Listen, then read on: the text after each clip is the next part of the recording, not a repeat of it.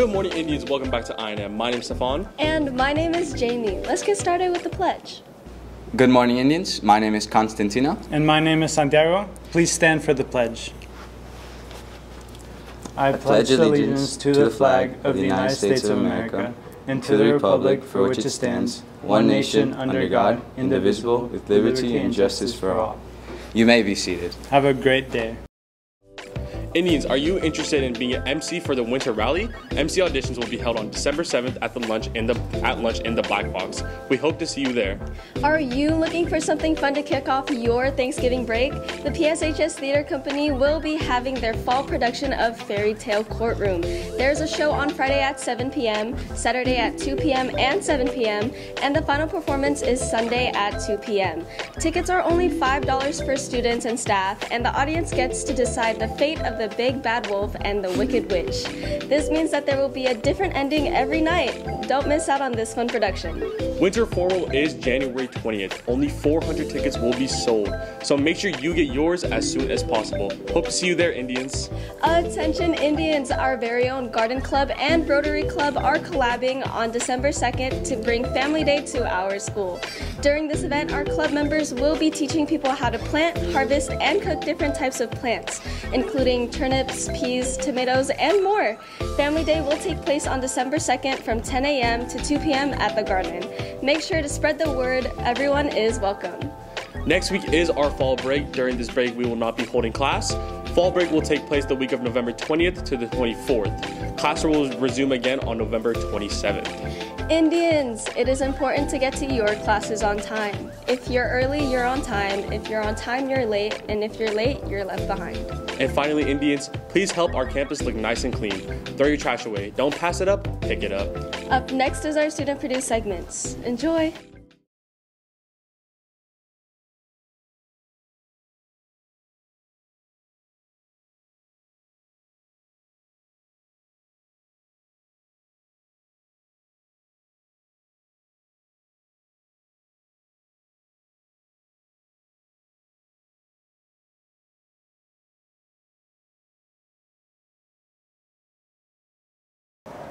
Hello everyone and welcome back to Java Talk, the show where you never miss a single thing.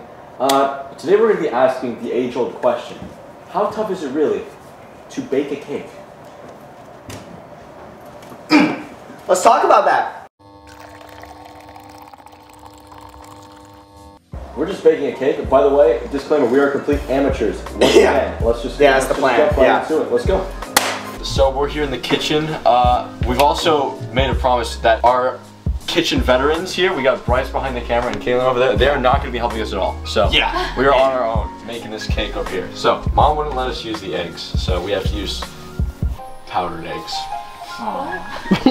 How many cups of flour do you think we need? Five. Okay. Pour that Two. puppy in. There we go. We're gonna use eggnog instead of milk. Expiration date is October 21st.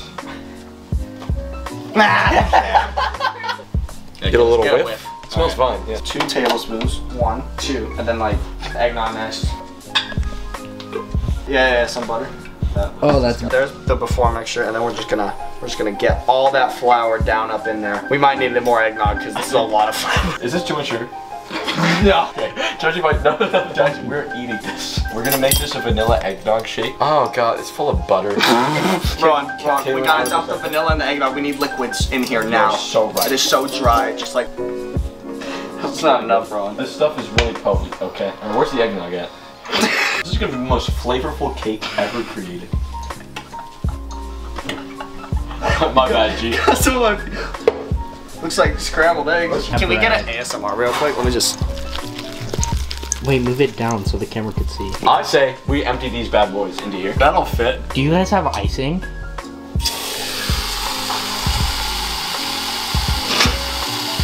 Alright, I think that's good. Okay, okay. Mm, oh, what kind? Oh, good idea, good idea. I was just gonna say. You guys made so much batter. We're gonna make some for you guys. Oh, I'm, I'm glad actually. I'm really glad. Okay. The first one going in, we're pretty focused. Wait, let's just. There you go. There you go. Wait, no, no, no. Scoop it over into this Yeah, side. these. Guys, cake rises. I want you to know that. Yeah, but you know what? I think that's just that's poor physics. You're right. Let's just, let's Jackson, what, what are we feeling? I'm thinking 500. This is our this is our creation. We got the Snickers cupcakes along with Yes. the M&M cupcakes. We could probably put it in while it's preheating, right? Right. Efficiency. Oh my god. Look at that bad boy. Beautiful.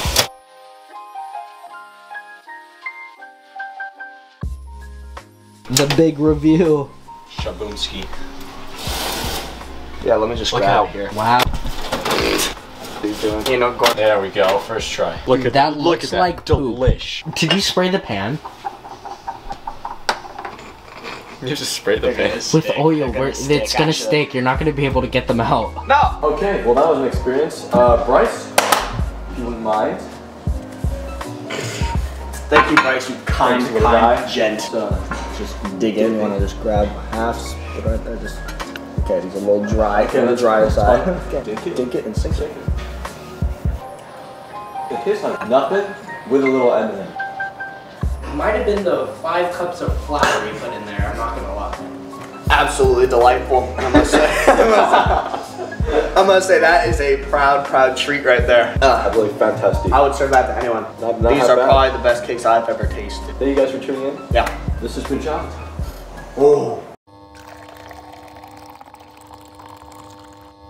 Yo, this feels like a brick. okay, Oh my, dude, dude, this is not the consistency of cake at all. why is Bro, it so chunky? dude, it's like it's literally a brick. Okay. This is this is disgusting. Name is Mr. Yo Yokimkis. All my students call me Mr. Yo. Uh, this is my 19th year here on campus, and I'm finally able to say that I've been teaching here longer than you guys have been alive. Yes. Freshman in high school, when I made my first thing on the wheel, it was a little Phoenix Suns cup. I still have it in my cupboard today. Um, since that moment, I really like making functional things that you could also call art and take them home and use them. It's what I try and instill in my class. We always make functional things in here, and I don't know, I, I think they enjoy it when they get to take it home and actually use the pieces that they make. Yeah.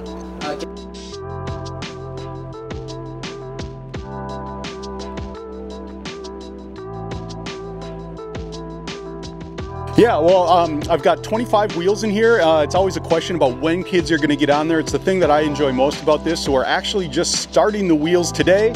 They're all on it for the first time, so it's like watching like little giraffes learn how to walk for the first time. You guys should come in and check out some of these things they're making. This is kind of my my fun thing. If I wasn't teaching it, I'd be doing it at my house anyway. Uh, I, I like the fact that kids like to learn something that's hands-on. It's a break from core classes, which get a little like tedious sometimes. Um, I teach because I like these aha moments, like uh, when they figure something out, or when they make something great, or when they're when they're proud of an example. You know, it's a really neat thing to see for the kids to be successful in here.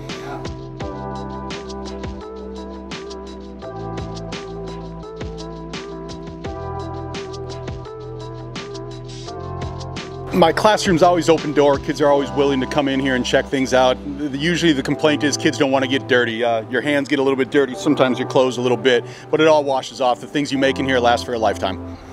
In the second semester, I always have a couple of kids that join. Uh, we're going to start our sculptural unit, and we're going to be making animal sculptures, cartoon sculptures, and abstract human forms. And those are the next three projects when we get back from the hol- holidays. Yeah. All right. Thank you.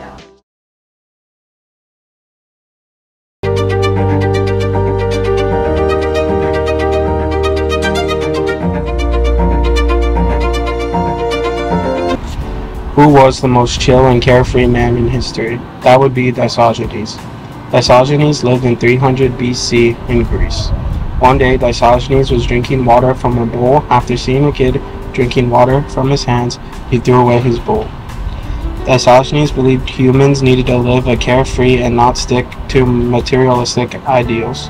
Diogenes chose to live in a barrel surrounded by dogs, believing only nature understood him. When Alex the Great got to meet him after being a fan, Diogenes said, Get out of my way, you're blocking the sun. When asked Alexander the Great if he could be anyone, he replied with Diogenes. When asking Diogenes if he could be anyone, he said he would only want to be Diogenes.